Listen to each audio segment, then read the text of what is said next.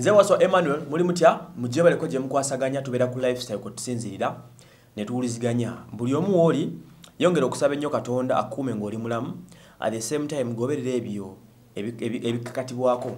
Osigale ng'oli mulamu ati tugenda okuvamu eno embeera zigizigi ng'oli stede. Nze mbeera waso emmanuel kwandiga wekilipsali tusinzira ku lifestyle wano tukwasaganyiza ebyaffe mpola mpola. Bwe tutyo olunaku lweguno navuddeo ne mbagamba nti abaana ekkumi n'omu abayongezeddwa ku balwadde bye twali tulina asatu mu abasatu babadde baana ba watoto kwaya oba gye muyita watoto church. Bambi abaana bano be bamu ku abo abazuuliddwa nga balina ekirwadde kya covid-19 oba coronavirus nga kigambibwa nti bakijja bweru baali bagenzeko bweru.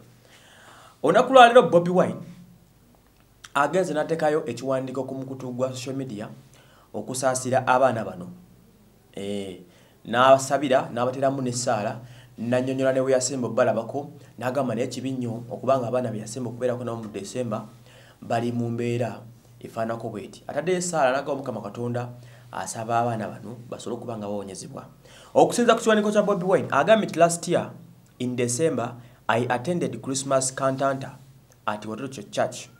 One of the most phenomenal things to see were their amazingly talented children's choir They sang, danced, and participated in plays. It was phenomenal. My wife is also such a fan of Watoto Children's Choir. Our children regularly watch their songs on YouTube.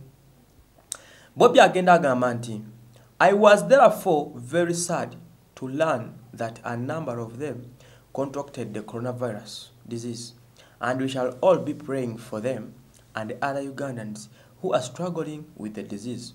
To the rest, uh, to the rest of us, let us continue observe the regulations put in place as, as, as directed by health experts. Onagamba nti ennaku zomwe zaali abiri mu lumu uh, zaali last year mu December ennaku zomwe zitataddeo naye omwaka ogwedde mu December omanyi mulina kyemuyita Christmas carols, Christmas eves zemuteekateeka ebiseera ebisinga nga tugenda mu nnaku enkulu amakyaki ag'enjalo gabikola. Ono y'omu ku bakyazibwako ku kyaki ya watoto church n'agenda abiko byanyumiro nabyo. Atugende nti abaana be baalina banyumira nnyo mezikuwa bano abaana ne mukyala we abaagala nnyo era ennyimba baziraba nnyo.